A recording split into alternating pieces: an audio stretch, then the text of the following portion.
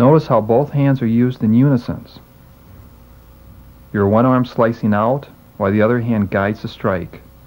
Here you see Master Mark's T'saishu, then Gao Shu punches. You can punch either overhand or underhand.